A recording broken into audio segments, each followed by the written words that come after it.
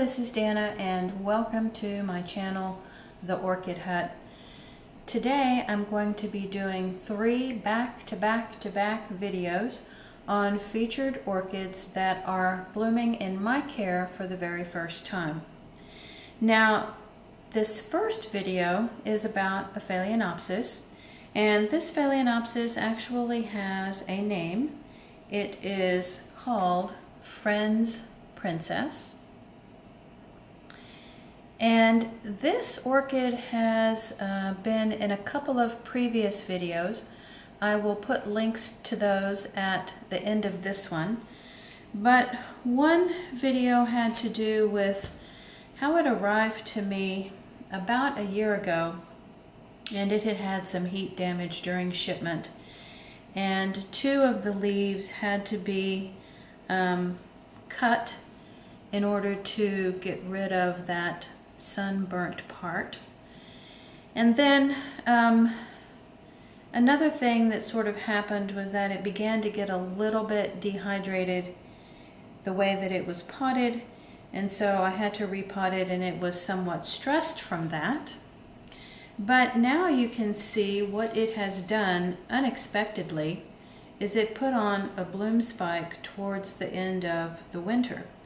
Now I did not expect this one at all to send up a new spike because after all, it had been seriously stressed from shipment, from having heat damage, from having to be repotted and a little bit dehydrated. So most of its existence with me has been sort of under stress. But here it did a spike anyway. Now, it was a little bit of an anomaly where it produced the spike because it sent up a spike in the exact location where the spike was last year when it was shipped to me. And this year it has one, two, three, four, five blooms that are open and one more bud on the way. Let me see if I can get the camera to really zoom in on that bloom. It's a gorgeous, gorgeous pink with a lot of speckles throughout. One of its parents is a Phalaenopsis by the name of Leopard Prince, and I'll put a picture of that one in the video. Its other parent is called Friends Lady, and I could not find a photo of that one.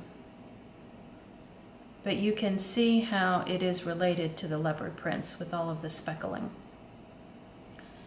Gorgeous Phalaenopsis. I'm happy to have this one. I'm happy that it's very, very hardy and, you know, will recover nicely.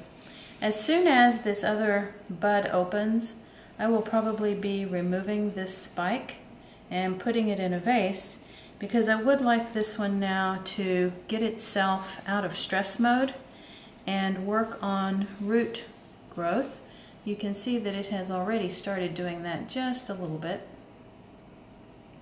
And hopefully next year it can produce um, an even larger spike with more buds on it.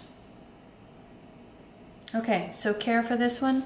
Just like all of my other Phalaenopsis orchids, this one was under the grow lights starting last fall through the winter.